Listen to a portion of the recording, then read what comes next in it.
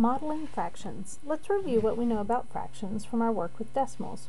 One tenth can look like this. 1 over 10 or 0 0.1, 1 tenth. As long as you have 10 equals, equal pieces, you have tenths. One hundredth can look like this. That would be one hundredth, 1 over 100, or 0.01 is one hundredth. But let's talk about other fractions we'll see in everyday life. This would be half of a candy bar, a third of a candy bar would be this much, one fourth, one fifth, or even one eighth of a candy bar. Fraction models show part of a whole, so you can draw a picture. What part of the bar is shaded? Well, five out of seven parts are shaded, so five are shaded out of a total of seven. We would say five sevenths is shaded. Name the fraction being modeled.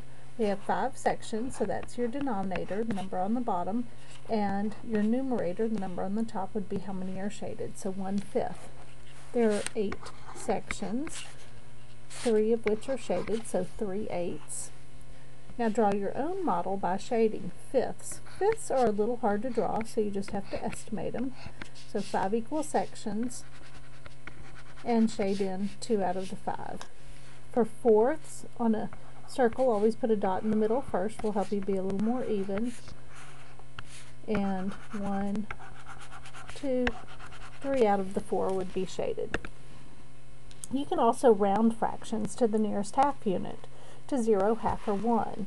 What you need to do is compare the numerator and the denominator to see. Round to zero if the numerator is much smaller than the denominator like 1 out of 10, 7 out of 50, 11 out of 100, would round to 0. 1 half if the numerator is about half of the denominator, 4 out of 10, 24 out of 50, or 52 out of 100. So in this example, 4 out of 10, 4 tenths would round to a half. Round to 1 if the numerator and the denominator are about the same.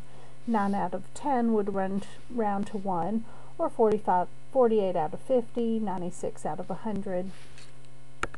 So let's try it. Round each fraction to 0, half or 1.